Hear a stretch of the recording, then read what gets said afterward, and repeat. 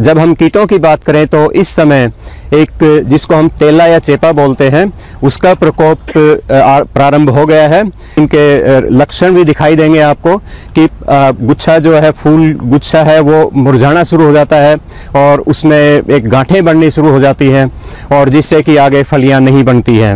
और अगर फूलों के टाइम, समय पर लगता है तो उससे आगे इसमें फलियाँ नहीं बनती हैं। अगर फलियों पर अगर इसका प्रकोप आता है तो ये तेल की मात्रा को भी कम कर देता है। अक्टूबर की फ़सल बुआई और नवंबर की फ़सल बुआई में प्राइस का प्रकोप ज़्यादा होता है।